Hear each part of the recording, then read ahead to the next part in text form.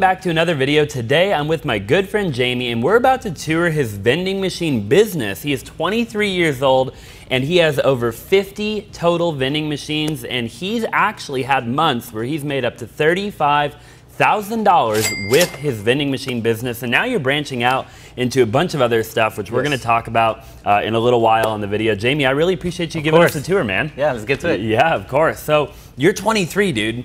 Yep. You've been selling snacks since what? You're in high school? My first ever job. Yeah, before I could even work, I sold. I was that kid walking around class with a bag full of chips, and at one point, I even hired three of my friends to sell chips for me. So I would give them a box every morning. At the end of the day, they would give me the money, and I would pay them at the end of the week on Friday fifty dollars. Wow. So I would uh, I made a lot of money selling chips, and then my first job was at a concession stand, also selling snacks and drinks. Uh, and I was able to save up a good amount of money by the time I graduated and start this business. What was your first ever vending machine that you bought? It was a combo machine, so it's like a like a two-in-one where you have snacks on top and drinks in the bottom. And I actually bought it on location for twenty-five hundred dollars. No way. But the thing that happened was the next day I got kicked out of that location, and the owner that sold me the machine didn't tell me that he was getting kicked out. So I just had a I was stuck with the machine how to take it out. But good thing I, I, started calling businesses, and two days later I found a new spot for it. No way. What yeah. was that business that you ended up finding for that particular machine? It was a barbershop. Okay. Um, it was a great location, and actually just took that machine out a couple months ago because sadly it wasn't doing as good as it was, and I didn't want to take it out because I had like that emotional attachment as my first machine on location that I got. But you know, once you get to a certain point, it's all uh, you got to be efficient and you got to make money. So did anybody help you actually get into the vending machine business? Unfortunately, no, because the vending industry five years ago isn't what it is today. So back then, um, I had to learn everything I could. Mm. I had to do a bunch of research on what type of machines to buy, what type of locations to target. Now I feel like you can go on YouTube, Google, and find a lot of information that can help you. But back then, I made a lot of mistakes, yeah. and I just had to learn by myself. And you didn't have any mentors or anything in the very beginning? At the time, no. I do have a good mentor right now, mm. but uh, when I first started for the first four years, no. Wow, really crazy the fact that you were able to get in. And did you ever actually have to like buy any locations or anything like that? Like obviously that first one you technically yeah. bought the machine, right? But not mm -hmm. the mm-hmm. location. I got my first couple locations by already buying the machines placed, mm -hmm. and that was a great way to get started. Most of the locations call me, mm -hmm. so I've been able to build a good website and rank up on Google. So I get most of my leads through um, Google, and yeah. I don't really have to go out door to door or call businesses as much as I did the first couple years. Through Google, it's very interesting. Have you ever had any um, locations call you as a result of the content that you put out? No, and uh, I don't know if I would want to. Yeah. Because uh, you know I love making videos, but like most of my locations have no idea that mm -hmm. I make videos because it's private businesses, it's yeah. office buildings, so I don't want them to think that I'm gonna just run in there and start screaming, you know, what's up everyone? Yeah. Let's see how much these machines made. So I keep it very professional. I love that, yeah. which is really good, right? Because at the end of the day, the content is more to help the people that want to get into vending, yeah. and then the actual business is again like you're keeping it private yeah. for the the owners. Yeah, exactly. Like know? I was telling you, vending is something I want to do forever. So I want to build great relationships with my customers. And do you think vending will be around forever? I think it will, right? It will be around forever, but technology is advancing. You know, I got a couple things I can show you in just a bit yeah. that kind of reflects that. But yeah, it's just constantly improving and there's a lot of great stuff coming out. I'm excited to talk in a little while about the mini marts and you're doing like water and coffee. coffee. There's all kinds of things that you're doing, which we'll get to here in a little while. And uh, right behind us, really quick, I mean, this is a really cool wall you got going on here. yeah, I try to make it look nice. yeah. So talk to me, like, what do we have going on? And in a little while, we'll go inside too. I know you have kind of the inside area, yes. but is this where you keep everything? Yeah, so these are all the snacks that we sell on our vending machines. Everything you see on top is all the chips. We kind of keep two boxes of each. And then we have the shelves separated by the, the categories. So here we have some pastries, uh, candies, cookies, crackers, and then some extra stuff as well. We were in the warehouse, obviously, and uh, you've got a lot of your chocolate indoors where there's air conditioning. Yes. We're in Texas, obviously, yep. in the middle of summer. Yes. Uh, so how do you, like, I can imagine transporting chocolate and stuff could even be difficult, right? Yeah, so storage-wise, you know, as you see here, we do have to keep it inside. Um, outside, it's 105, 109 degrees right now, so it gets pretty hot, and even transporting it to the location is tough. We have to use a lot of ice packs, mm -hmm. a cooler, and during the summer, we actually slow down on on selling chocolate because it's such a struggle. So uh, this is just a little bit some items that we have to have because some locations really go through it. But in the winter, we do sell a lot more chocolate. Really? What is your best-selling chocolate out of all that chocolate right there? The M and M's. Really? And it's probably like in the top three most uh, popular items out of everything. Out of everything. Yeah. That one right there. yeah, peanut M and M's. Peanut M&Ms. So like, what is the second most popular thing, or like if the other the other top one? The one is Dr Pepper. We're Dr. in Texas, Pepper. so Dr Pepper, we love it down here. More and, than uh, Coca-Cola, huh? Oh yeah. Wow. Yeah, Dr Pepper number one. Uh, two or three is M and M's. Uh, the, the third one, I don't remember. I would have to double check. And this is a pretty cool little setup you got here. Uh, talk to me about like what does an average day look like for you? So the vending business, even though I have about 50 machines, it doesn't take long to run, which is what I like. So I can run the entire route Monday through Wednesday. Wow. So I'll go and fill up all the machines Monday through Wednesday, and then Thursday and Friday is kind of where I would do like the exotic snacks, and then maybe edit a YouTube video if I film something that week. So it doesn't take a mm. long time, and that's why I think we can handle probably a couple hundred machines before I have to hire somebody else. Yeah, and you and your girlfriend are primarily doing it right now, or does your girlfriend like what role is she playing currently? Yeah, so she's actually the route driver. Hmm. Um, she fills up most of the machines. Fun fact, and you know I gotta tell her sometimes to be careful because it can be heavy. Hmm. So I gotta tell her to only lift one case of drink at a time because she'll try to pull the entire thing. But you know, yeah, she Yeah. runs the route, and I'm kind of like the like the operation hmm. manager. I make sure all the locations are good, they're happy, and I answer any new clients. So the goal in the immediate future is to get to a couple hundred machines. In the near future, yes, A couple hundred, but end goal, I mean, the sky's the limit. Yeah, for sure. I mean, literally, right? Your Yeah. mentor, how many does he have?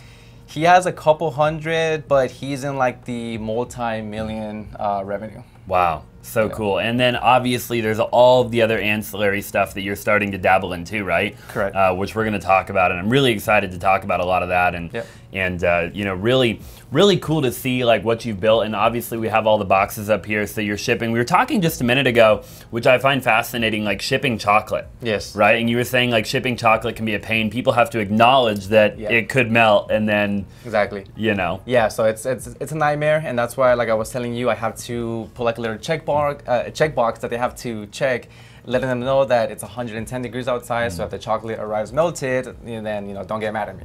but they'll still check it. They'll receive the chocolate all melted. Then I get a mad email requesting a, a refund because they can't eat it. Right. So like I told you. Yeah, and I've almost even decided to stop selling chocolate because of that. But I mean, it still sells. Yeah, So. for sure. You, I feel like you have to do what you have to do. Yeah, and people might be asking, you know, why don't you just ship it with ice packs and stuff like that? And I do, but again, it's like 110 degrees Mm-hmm. on outside, and I bet it's even harder inside of the UPS truck. Yeah. So even with those ice, pack, uh, ice packs, they don't last long, No. maybe 24 hours. Talk to me, Jaime, about the splits. You know, how does it work when you place a vending machine in somebody else's business? You know, are they getting a cut every time somebody buys a bag of chips, or how does that actually work? Yeah, so that's the question I get asked the most is how much do you pay the owner or do you have to pay like a monthly rent? Mm-hmm.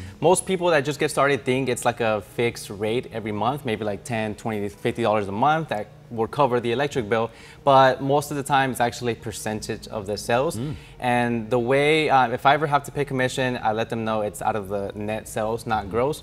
But the percentage starts at about 10%. Okay. Um, some vendors even do 5%, but the max is maybe 25, maybe 30% if you get like a hotel. Yeah. But you know, it's not as much as you would give if it was like an ATM maybe, Mm-hmm. because the margins are, are a lot thinner because of the snacks. Sure, yeah. And there's probably locations that they don't even care to have a percentage because Yeah. you're technically adding value to their business Exactly. by providing that service, right? Yeah, something I say is the smaller the location, the more money they want. Mm. Because big locations, they don't care about a percentage. All Right. they want is a good service. They want to have drinks for their employees. But if you go to like a small barber shop or like an auto shop, we want 25%. We want 30%. Just Mm. Yeah. because you know it's more revenue for them, but it's uh, it, it is a convenient service that we're offering, so we don't really give as much. Sure, yeah. And then obviously the business owner is paying for all the electric and everything for the vending machine to be plugged in, or are you paying for that? No, the owner pays for the electric, but you know the, the new vending machines nowadays are very energy efficient. Mm-hmm. Uh, it's maybe as much as like a fridge. The the drink machines, Mm-hmm. the snack machines, a lot less. So it's they'll barely see any difference. Oh wow, Yeah. interesting. And so how do they even bill you for that? Or they, if you were to pay for that, how would you track all that? Uh, we don't. You it would just yeah. be maybe like, hey, I'll give you twenty dollars a month, Mm-hmm. or I, I give commission only in one location that I have. It's the laundromat that we're going to be going to. Okay. And I give them fifteen percent. Talk me through the process of prepping to go service that actual location. So the way we do it is we actually, what it's called pre-kitting, and that's where you grab all the product that you need for each location. We do that the night before or the day before. That way the next morning, we just load everything into the van and head out early in the morning. And you do So- that on your computer? Yeah, so we have Okay. a software, it's called the VMS, and it's an inventory tracking software. Mm-hmm. And we have all of our machines plugged in. We can see exactly what's selling, how much each machine is making, and we can schedule a route. So we just put which locations we're going to on what day. And then I have an app, so they all pull up to my app. And like I was showing you, Yeah, it's pretty this cool. is the location that we're gonna be going to in a bit. It's a laundromat. Mm-hmm. I have two machines there, the laundromat combo and then the laundromat soap machine. Mm-hmm. So if we click on the combo, I'll click pre-kitting because we're gonna get the product ready. Mm-hmm. And then this is the entire list of every item that we have to take. So this is what sold. And then on the right side, we can see the add one, add one, add, add four. And that's basically telling me to take that amount. That's awesome. And you have a machine at the laundromat that actually sells soap. Yes. Dang, that's pretty cool. Yeah, so it's the first, you know, I guess weird machine you could call it. Uh, but yeah, it's a new laundromat. So they were saying, hey, can you sew soap in the machine? And I've never done it. And you'll see when we get there, it's literally just a snack machine. I just made the coils bigger to be able to fit the soap bottles. So all you really had to do, so like on it, it kind of is looks like this, Yeah. but you made the coils bigger. Yeah, and there's some uh, wider coils, but it's just a regular snack machine. They do make some machines designed for laundromat products, but those are like eight, nine, ten thousand dollars brand new. And in my head, I was like, you know, if I spend ten thousand on the soap machine, but I get kicked out like a year later, what am I gonna do with the soap machine? Right, for so sure. I just converted one.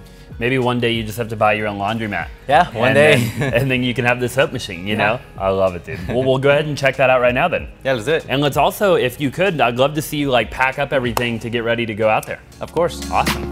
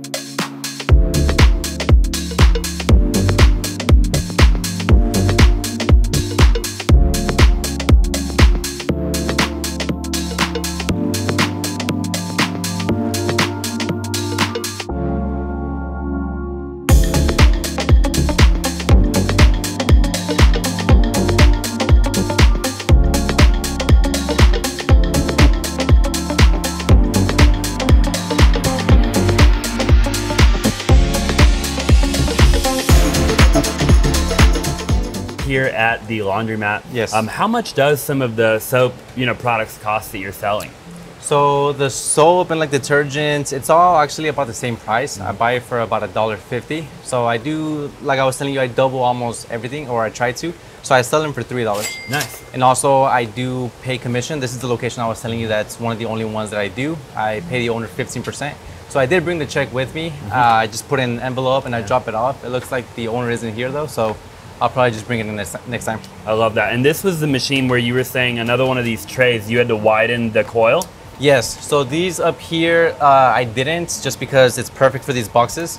But for the ones down here, I did because even though these are pretty small, they're still wider than your average snack coil.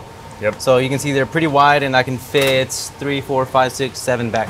And how, um, where did you get like the new coils? Can you just order those online? Yeah, so there's like a website where you can order parts from the manufacturer directly. I can get parts, I can get a new keypad, uh, whatever I need. Nice, I love that. And what type of machine is this right here? This is uh, the brand is called AP. The AP? model is one, it's a 112. Okay. So it's a pretty older machine, but like they say they don't make them like they used to because this is like it's all metal, good Yeah. quality. The brand new ones they make nowadays, it's just more plastic. So kind of like cars, you know, they Yep. say they don't make them like they used to.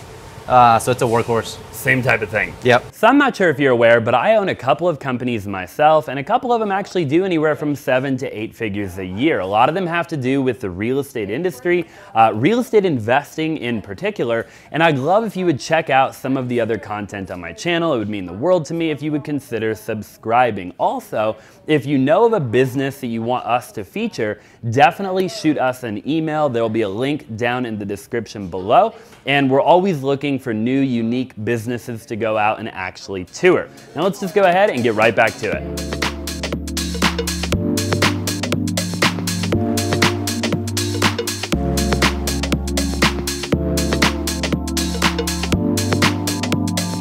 Obviously you just restocked the vending machine Yes. um, and you put a couple of different selections in there. We just saw you not only change the inventory, but Yes. actually change the front facing like product, right? Yes. And then you mentioned you also have to change the pricing. So can you change the pricing virtually? I have to do it in front of the machine. Okay. So yeah, I gotta I just go into service mode. I press a button on the motherboard, and then I have to. Uh, it comes with like a little manual, but I already have it memorized. I would press number 5 for pricing, and then one for a specific selection. So then I would pick. I can actually show you live maybe. Yeah. So yeah, to change the prices, I just press the button on the motherboard. Uh-huh. We press five, we'll see PRC for Yep. price. Then I can change the price for a single selection, an entire tray, or the whole machine. Got it. So I always do just per selection. Let's do one. Then I'm gonna change the vitamin water because I just Yep. put that one in there. I replaced it with water. So selection 50, it's 125. I sell the vitamin water for 150. Uh-huh. So let's just move that up to 150 and then enter. And then Wow. I can just switch another one. But that's the only thing I had to change for now. Dude, I love that. Yeah, really easy. Super cool, yeah. Yeah. But you do in fact have to be at the machine to do it. Yes. Yep. Got it. Yeah. But you were you were talking about the mini marts. I'm excited to talk about that more. Yeah. In a little while. You can do all that virtually, right? And I, if anything, I probably like those a little bit more. Yeah. You know, there's a, more money to be made, but it's more work for sure also. For sure. And it, does it cost more money to get a mini mart started? Depends how fancy you want to make it look. Yeah. So it depends on what type of equipment you want and how big you want it. And you just did your first ever mini mart. Yes. Yeah, I love it. I'm excited to talk about that in a Yeah. little while. So Jaime, you were just telling me a minute ago that that right there is the first machine that you ever Yes. bought, and that was the machine you were telling us about a little while ago. Yes. So five years ago, August 1st, hit five years when I bought and placed that Dang. machine on location. And as you can see, it's still up and running, and I've never had a single issue with it. So that's why I think it's very important that people buy good equipment, Mm-hmm. even if it costs a little bit more, because it's gonna last you years and years. For sure. And what type of machine is that? The brand is Wittern, uh, and it's a Wittern combo machine. Got it. Okay, awesome. And then, you know, talk to me about like finding locations, right? You talked a little while ago about like, you know, finding locations. You know, a lot of people talk about like how it's so saturated, right? Yeah. Like, what do you say to the people who say it's saturated, like you can never find a good location? I think people give up too early in terms of finding locations because, uh, like I was telling you, people jump into the vending industry so fast, but just as fast as people jump in, people are getting out because people go to maybe two, three barbershops, laundromats, and call it a day Yeah. and just give up because they, they all said no. But I tell everyone, you know, it might take a hundred no's before you actually get your first yes. So that was the first machine I bought on location. I got kicked out the next day. So I didn't have anywhere to bring it back to my house. I didn't have storage. So I had one week to find a new location. Yeah. So for the next two days, I literally sat in my in, in my room for hours and hours calling businesses until that barbershop gave me a yes. Wow. If somebody's watching and they're first getting started, right? Do you recommend the best way to getting a location is like over the phone, or do you recommend people like go drive around their local area and like walk in and talk to the business owners like face to face? I tell everyone to figure out what their strengths and weaknesses are. So, for example, even though I might look uh, like an ongoing person on camera, you know, in person, I'm actually pretty shy and I would be terrified walking into a business, talking to the owner and asking them if I can put my machine in there. But I am very good at um, advertising my website and emailing locations. So that's how I find most of my locations. But you know, if you're like a people person and you're comfortable talking to people, then your best bet is gonna go door to door Right. and talk to people face to face. Yeah, so if you're shy, get out there, make it happen. You know, at the end of the day, you can just send an email too, right? Yeah, exactly. And you just like craft the email really well, I'm sure. And uh, you know, I'm sure it's just a numbers game too. Yeah, and at the same time, even if you're shy, it's something that you're gonna have to work on because yeah, I'm shy, but I used to be a lot more shyer. But you know, even once you start placing machines on location, you're still gonna have to be talking to customers, responding to calls about machines not working. So you're still gonna be talking to a lot of people. So you have to be comfortable doing that. Right.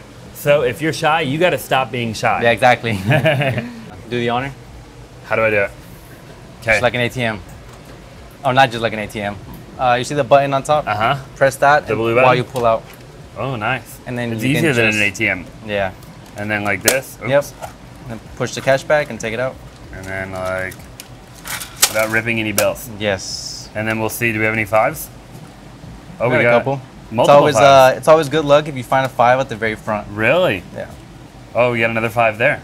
How much do you think? Oh, and another five here. How much do you think this is? Uh, I would say about maybe forty dollars, Really? 30, 40, Yeah. I feel like this is way more than that. Yeah, I think so. Uh-huh. Maybe with the fives, yeah. But um, it's funny because a lot of times I go and collect cash from my machines, and I don't Uh-huh. put out, I don't pull out a lot of money, and, and even, I even have to ask myself, am I really making money? Because Right. it doesn't feel like it. But it goes back to you know, it's all in the card readers. For sure. Yeah, it's a lot of it's in the cart. You were saying 60%. About yeah. Yeah. Some locations are more, some are less, but about. Pretty cool. There's the coins. Right. That's quite a bit of money in quarters. Yeah, maybe about a hundred dollars, maybe. Yeah, I bet it is, especially between the two. Yeah. You know?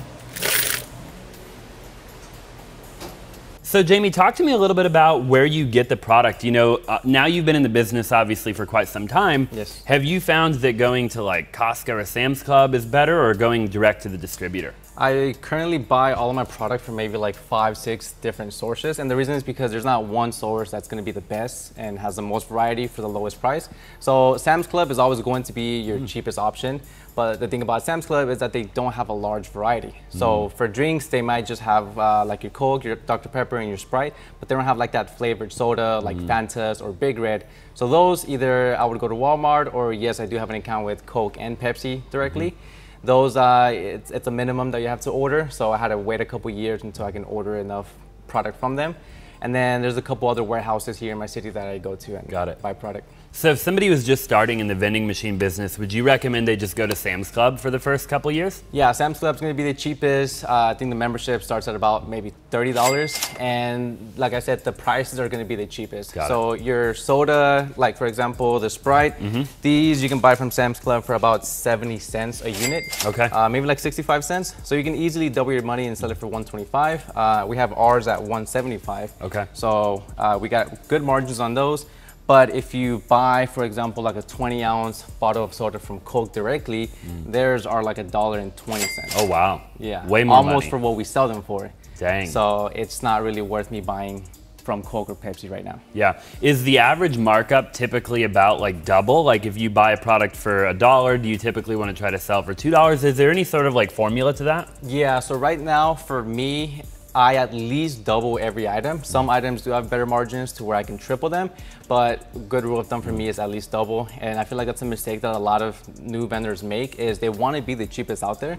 So they don't look at the exact percentage for the profit margin. Um, but for me, I have to double everything to cover the cost of my warehouse and everything. Yeah. And make sure I make enough money. Yeah, no, I, I absolutely love that. And does it depend at all on the location and the demographic of people, or do you just kind of have a price and regardless of the location, that like the price is the price? Uh, yeah, it depends a little bit on the location. So, for example, if it's a corporate office building, I'll kind of have the prices a little bit higher because they can afford it. Uh, but if it's like a nursing home where it's mainly just older residents there that get $25 a week for their allowance, then that's where I have the lowest prices. Sure. Yeah. No, I definitely love that. And talk to me while we're in the warehouse a little bit about your warehouse itself. Like, at what point did you decide that you needed a warehouse? So my last apartment, I had a garage. It was a townhome, and I ran my business out of that garage. I've made a lot of YouTube videos about it, and great memories there.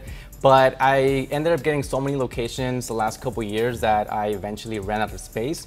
And I wanted to have more space to keep machines here, work on them, because I also had a storage unit, and I had to go back and forth between them. So, I mean, this place, it wasn't too expensive. Yeah. I was able to afford it. So I was like, it's great for me right now, and I'll be able to grow into it in the, the three year lease that I have. Yeah, that's awesome. What, if you don't mind me asking, does something like this run like about a thousand or fifteen hundred a month? Or Yeah, it's uh, 1,500 and it's about 2,300 square feet. So it's actually one of the cheapest I found for the Yeah. size. When would you recommend, I guess, like if somebody was just starting in the vending business, like when do you think they would need to get a warehouse? Like how long do you think they could run it out of their garage? I think the you can wait a pretty long time. I met a vendor recently that he has about 100 machines on location and he still runs it out of his garage. Mm. Wow. So you don't really want to move into a warehouse because it's an extra expense. You want to keep as much money as you can, but if you want to be organized and professional, then maybe Yeah. once you start actually making maybe $10,000 a month. 10,000 a month, yeah. And that guy must not have an HOA. Uh, yeah, no, he doesn't. right? I love it. You just started your first mini market, right? Yes. And talk to me about the difference between a mini market and a vending machine. The biggest difference is that a mini market or a micro market, people call it different, is it's basically like a self checkout kiosk. So you know when you go to Walmart, you scan your items uh, one item at a time, then you pay at the end yourself. So that's kind of what it is.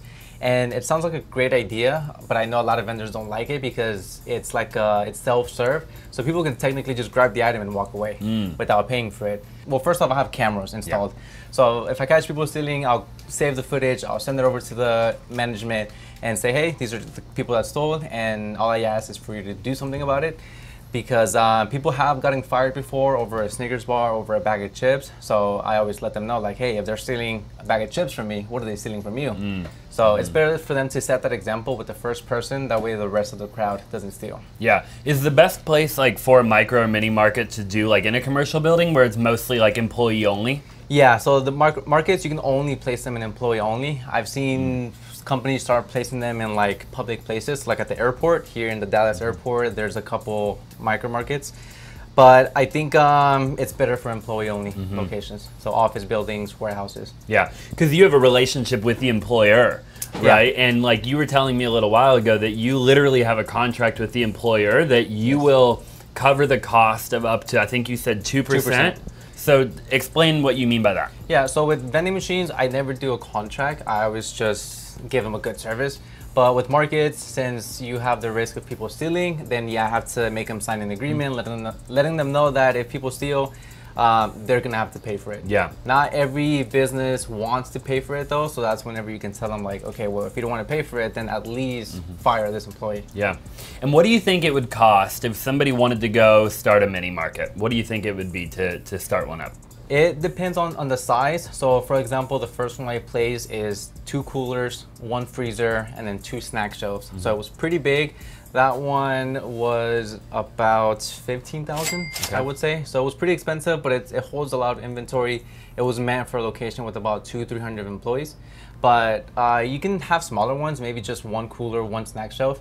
And the kiosk is the biggest expense, so that'll cost you anywhere from three to six thousand. Wow. All right. And how much would you expect to make on like that micro market?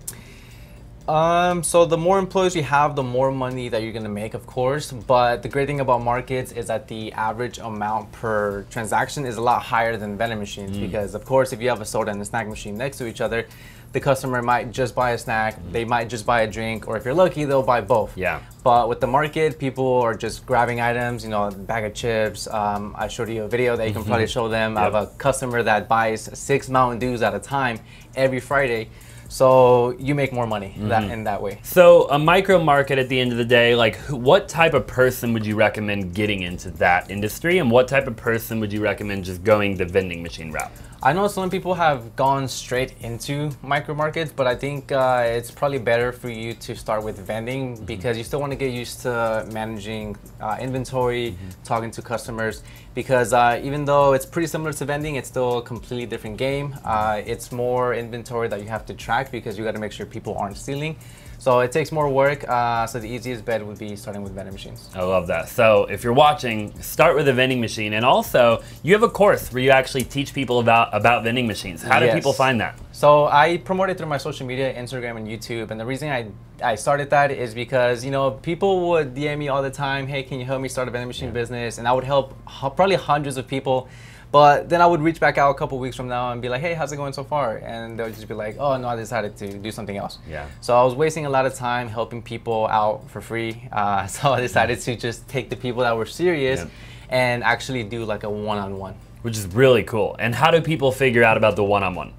Uh, so we, they, they can actually book a call directly through my team. It's at vendingempire.org. And like I said, it's a one-on-one, so it's a three-month program. We'll walk you through like literally A through Z, setting up your uh, permits, and all the way to figuring out what machines to buy and then how to find your location. I love so that. we try to do all that within the three months. vendingempire.org. Yes. And we'll put the information down below. And I want to go talk in just a minute about the coffee and the water. Yeah. Okay, we'll go do that now. So you're starting to get into the coffee business Yes. and you bought that machine right there. Yes, very And- expensive. Probably more than a lot of machines I buy actually. What did it cost? About 45. 4500 Yeah. for a coffee machine. Yeah, just for this. It's uh, one of the best though, so it's worth the money. What does it do? So this is what you call a bean to cup machine. Mm-hmm. So it actually has a grinder inside to grind the whole beans. So it's a good selling point because with ground coffee, you know, people that actually are coffee drinkers, they'll be able to taste the difference between ground coffee and whole beans. So makes a huge difference. What type of like upkeep does it take? That's the thing about the coffee service is you kind of have to train one of the one of the employees at that location to do like the basic maintenance, and it's simple stuff that I can show you in a bit. Uh, but there's like daily, weekly, and monthly maintenance on it. Let's open it up. I want to yeah. I want to see what it looks like. Let's check it out. So I do have it plugged in. Uh-huh. I've been testing it. That's why you can see a whole bunch of uh, coffee grounds already used. Yep. But the great thing about this machine is that you also have like uh, a milk and chocolate powder inside. So you can actually make uh, cappuccinos and lattes with this. So you put the beans up here and then what is that little wheel right there? This is the filter paper. So the way it makes the coffee is through like a reverse French press. It's one of the method- methods to make coffee, and it just basically it extracts more coffee, making it taste better and fresher. Dang. So it's a really good machine and makes a lot of different drink. Yeah. And what is your game plan with the coffee machine? Like obviously you've got 50, you know, vending machine locations. You know a lot of the owners. Um, you know, you're getting more delivered, like Yeah. you're growing, right? Are you planning to rent that machine out? Yes, so I'm gonna be renting it to the location, and I just started to start doing it because I started growing my vending business, and I have a lot of office and warehouse locations. And sometimes when I would put my vending machines in there, they would ask me, "Hey, do you also provide coffee?" And I would always say no because I didn't. But I started doing more research about it. Uh, my mentor that I was telling you about, he does a lot of coffee, so he kind of taught me what machines to get, you know, where to get the products from, what type of beans to use, and mm-hmm. all that stuff. And what do you think you'll be able to rent out a machine like that for? And is the main income stream from the, renting the machine itself, or do you make money on like the coffee and all of that too? I make the money on actually selling the coffee itself. Mm-hmm. So the renting, I'm going to be charging the location $100 a month, mm-hmm. and that's basically because they're going to start with about a, uh, 30 employees. So I don't think they're going to be using it as much. But once they get to about 100 employees, I'll probably just waive that monthly rent fee and just charge them for the coffee itself. Got it. So you'll eventually work to get them the machine for free. Yeah. And then will you be the one actually coming and delivering the coffee then? Yeah, exactly. I'm gonna deliver the coffee, the cups, the lids, the milk, the chocolate, and I'm gonna be doing the weekly and monthly maintenance, which is basically taking literally everything apart, cleaning it, sanitizing it, and make sure it's working properly. The only thing they have to do is refill the beans if they get empty, refill the milk and chocolate if that gets empty, and of course, empty out the waste bin. Dang. I'm telling you right now, I own a couple of different businesses, real estate being Yeah. some of the businesses I own. I would definitely pay, pay somebody like you to come do all Yeah. what you just described for me. Yeah. You know, like I wouldn't want to do that if I was a business owner, you know? Yeah, Like it's a lot of work to go and like have somebody, you know, a secretary or somebody deliver everything and like Mm-hmm. Upkeep the entire machine. Yeah, we try to provide the entire break room service. So everything from vending to coffee, and then like I was mentioning, we want to do water also, and then maybe in the future also other services. Okay, so we're standing here, Jaime, in what would you call this?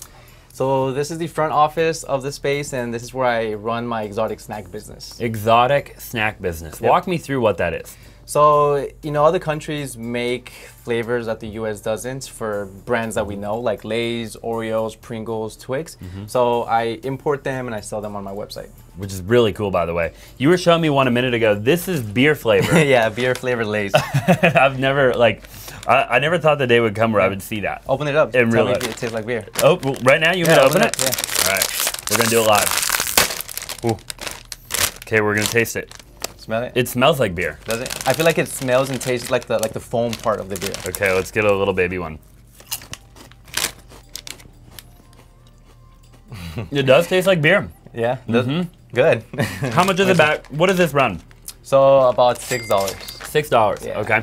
Everything is, you know, pretty expensive, and that's the complaint we get the most. But you know, with importing costs and fees, uh, I mean, I'm paying maybe like three dollars for it. So I'll So- basically double it also. How do you import an exotic snack? Uh, I had to find suppliers, and like I was telling you, it took me about eight months to find. Mm-hmm. So I had to find suppliers from each country and just build a relationship with them. Say, hey, can you send me the stuff? And of course, I'll pay you for it. But yeah, the question I get asked the most is people that see me do this is, hey, you know, where do you buy the product from? Mm-hmm. And it's not like a website you can just go and buy all this stuff from. You have to find a supplier. For sure. Yeah, you were saying it took you a long time to like figure it all out, right? Yeah, a long time, but uh, as you can see, I was able to source Mm-hmm. a lot of really cool stuff. Yeah. Do you sell any of this in your actual vending machines? No, people have been telling me to do that. I feel like it's a, a, great idea. It's just about the location. Mm. I mean, you know, of course, if you put all this stuff in like an office building where they just want some regular Cheeto Puffs, they probably won't buy a six dollar bag of chips. Right. But if we go to maybe like a mall or like an, at an airport, that would be a good idea, and that's something uh, hopefully I can do one day. That'd be really cool. I feel like you'd have to have a way to like tell them a story about like why Yeah. you're selling it. You know, like there'd have to be like a picture of like, hey, here's Yeah. what this is.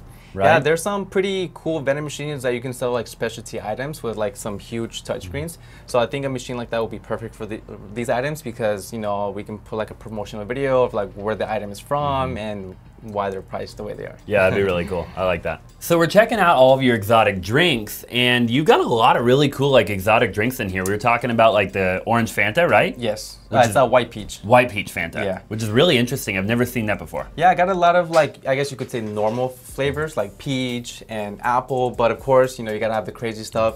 So this one is pretty cool. It's a Seven Up Mojito, which is um, an alcoholic drink, but Yeah. you know it doesn't have alcohol, but it, it's uh, it's pretty good. That and it, I mean, I've never seen anything like that before. Yeah, that one's know? from France. Another thing that I've never seen before is that right there. The giant Fruit Loop. Th- that is one single Fruit Loop. Yeah, it's one. Uh, you can guess what color it is. I've opened it. Really? Okay, don't mess it up.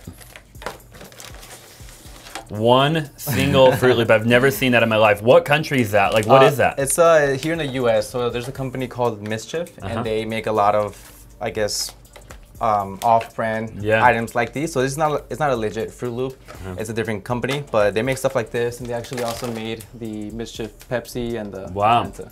And the barefoot wine, that's actually a real barefoot wine. Yes. But it's an Oreo barefoot wine. Yeah, they did a collab with Barefoot, and this is actually very, very rare. You can only buy it off of their website, which sold out in like seconds. And I just Wow. got lucky that I got two bottles. I opened one of them, I tasted it, I tried offering him, he didn't want to taste it. Uh, it's not good, but like I was saying, it's just for an experience. Yeah, maybe when we're done filming, I'll be able to try a little bit of it. But I, I still got to stay sharp for the camera, Yeah, you of know? course. I love it, dude. Yeah, and you know, this is kind of a cool little hobby I feel like that you have, right? Yeah, I mean, I've always liked snacks, even before I even had a job. I've always just liked munching on, on chips and candy. I I have a sweet tooth, so it's just what I know. Yeah, which is so cool, you know, and then you get to do, run the vending machine company, and this is just something you can do like a day or two out of the week. Yeah, just an Super extra cool. side income to fund my vending machine business. Yeah, I love that, man. So talk to me a little bit, Jaime, about like the numbers. You know, for somebody watching, I mean, like, how much does it really cost to get into the vending machine business? I started with $2,500, and I feel like that's a good number to start with because the more money you spend on machines, probably the better because you can get nicer equipment. You don't want to start with uh, the cheapest you can find because a lot of people will buy a three, four hundred dollar snack machine, which you can find some at that price, but it's a machine that's maybe like 20, 30, 30 years old that you can't even add a credit card reader to it, and people don't know that. So you can't add a card reader to just any machine. So I think 2500 could get you a good snack machine, a good, a good drink machine, uh, but of course, the more the better. Yeah, for sure. And do you recommend that people buy a brand new machine? Is there places where people can buy like a used machine? What do you think? I think uh, if you can get a new machine, then yeah, I would recommend it because if you buy a brand new machine, one, you know it's going to be working out of the box. Second, they give you a warranty on parts for like two years, and uh, three, you can finance machines a lot of the times. So you can sometimes maybe start your vending machine business with almost no money down if you can finance machines. Yeah, and I'm sure you could also probably throw a vending machine on the credit card as well, right? Yeah, exactly. And another thing that people don't know is that you can actually get free machines from Coke or Pepsi if you mm. just buy the product from them directly. No way. So they'll give you free drink machines, but you know, again, they give you like a minimum of maybe 10 cases a month or something. So you would have to make sure you at least find a good first location to be able to buy that much. Obviously, you own 50 machines, Yep. right? What is like the average that a machine does if you had to put an average to it? Obviously, it depends on the location, I'm Yeah. sure, right? I think they've uh, there's like an association that has come up with a average per machine, and it's about four to five hundred dollars a month. Okay. And it's actually per location, so uh, Yep. for two machines. But you know, again, that's that could be on the low end because my least performing machine makes yeah maybe like three four hundred, but I have some locations making thirty five hundred four thousand dollars a month. So, what is your best out of all the locations that you have? Your highest uh, earning vending machine location? The highest one right now is a convention center, and it doesn't do good like every single day. It because they have events, they have concerts, stuff like that. So it's mainly when they have events. Uh, it could do maybe two, three, four hundred dollars for that night. But yeah, they have probably 200 employees there. Wow. And how would you recommend for somebody watching? Like, I would imagine getting a location like that is more difficult than just like your average location, right? Like, is there any recommendation you would have to eventually getting into somewhere like that? Yeah, so it's important that people make connections because the way I was able to get that location is because I used to know, or I still know the previous vendor that used to run it. He was getting out of the business, so he came to me and asked me if I wanted it. And of course, I took it. Uh, but of course, the more people you know, the more access you have to more locations. I've heard people start a vending industry and they work at a warehouse with maybe like 200 employees where they don't have machines. So they just go and ask their boss. You know, it could be as simple as that. So yeah, the more connections, the better locations you could get, but it doesn't just um, come down to that. Yeah, at the end of the day, you've got to get out there and network with people, I feel Yeah. like, right? A lot of people might look at this industry or this business and say, like, oh, yeah, but you have to have all the product, right? And you've got the warehouse and the machine and all of that. Like, you know, how much profit do you actually make, right? And, and I'd love to kind of get your thought on that. Yeah, well, the biggest expense is the product, of course, and that comes down to about 45%. So you're left with about a 55% profit margin. And yeah, that doesn't include gas and rent and everything else, but that's why I was mentioning that the way I price my items, um, I have to at least double it. Some, some of them I do triple it, but you have to be minimum double in- in order to cover everything. And the way I did it the first couple years, that was a huge mistake, is I used to do it by not by a percentage, but by a certain amount. So if mm. I at least made 50 cents for an item, then that was good for me. Mm. But you know, a monster, for example, will make a huge difference. if they were going to focus on a type of location, you know, whether it be like barbershops or like, you know, whatever it might be, like laundromats, right? Obviously, mm-hmm. like, do you have a favorite type of location? Yeah, my favorite is industrial places, and that's mainly because I'm down here in Texas. So it's there's industrial everywhere uh, with a lot of employees. So that's mainly what I target. But I know other people in smaller cities might not have a lot. So it's just anywhere with high foot traffic. Yeah. Could be a dealership, could be a laundromat, uh, an office building. So. Mm-hmm. How do you determine that? Like when you're talking to a business owner, like how much foot traffic did they have? Do you just ask them? Yeah, I straight up ask him, and it's very important that I do before. But even a lot of the times, believe it or not, they lie mm. about how many employees they have. I bet. Because they might not have a lot of employees, so a bigger company might not want them. Because some bigger companies have like a minimum. Mm-hmm. May it could be 100 employees, could be 200. But yeah, I, I ask him, and then they'll tell me. But what I've noticed is I have to ask them how many employees are actually in the building mm. because they'll give me like a like the total amount of employees, but 80% of them could be working from home. Right. Which makes you know it, it makes it rele- Especially in 2023. yeah. You know? yeah. Yeah. So and I've been through that. I've had a location tell me they have like 100 employees, so I'll go and buy some really nice, big, fancy machines. I get there, I don't see a lot of people in the parking lot, so I'll go inside and ask them like, "Hey, is everyone on, on break or what's going on?" and they're like, "Oh no, most of them just work from home." Yeah. So it was just like yeah, yeah. What the I heck? spent all this money. Yeah, I had to bring those machines back and bring smaller mm-hmm. ones. Then you got to find a new location for it, Yeah, probably too, right? exactly. Yeah.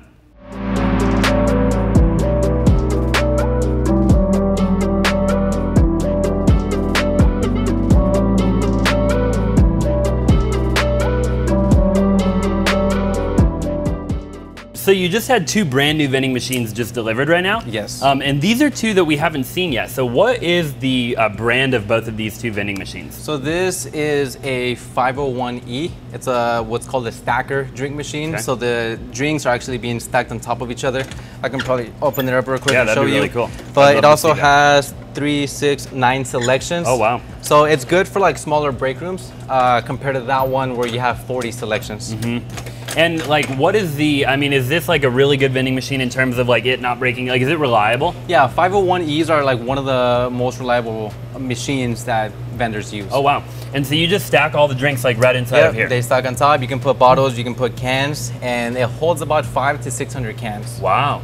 So it's it smaller, but it still holds a lot. Dang. And then this whole thing is like completely refrigerated. Yes. Got it. Okay. And then what type of machine do we have right here uh, next to that one? This is a Dixie Narco 5800, Okay. uh, which is also called the BevMax 4. And it's the only drink machine I use for every location just Really? because visually it looks so much better. I mean, this machine looks nice too, don't get me wrong, but physically seeing the bottles, locations love that. They look nice. Yeah. The only uh, downside is it has like a little arm that goes up and grabs the drink. But if that arm for some reason gets jammed or stops working, the entire machine is down. Right. Compared to this, where if one selection is jammed, you can still buy from the other ones. Hmm. So it's very annoying. The it, the service calls I get the most is about this machine. Really? But if you know how to work it, you know, Yeah. and take care of it, then you know what to do. What did you pick this machine up for? Uh, I would imagine you bought that used. Yeah, this is uh, it's refurbished, so it is used, but they clean it up. They make sure everything's working. I bought it from a local supplier for about 4,500. Brand new, these are like 8,000. Jaime, I had a lot of fun today. I really appreciate you letting us tour your business. You know, we talked about numbers, we talked about everything. Thank you uh, for being so transparent and honest and just open with everybody. Yeah, hopefully you learned a thing or two, and you'll probably go back and start your own vending business now. Yeah, I just might, dude. I just might. I'll probably call you. Yeah, anytime. I'll partner with you. You know. Sounds good. Uh, where can people find you? You can find me on Instagram or YouTube at Jaime Ibanez. I make videos about my vending machine business, collecting cash, or if you just want to be entertained and see me fill up some machines, come check me out. Dude, really appreciate it, bro. Thank you. Thank you.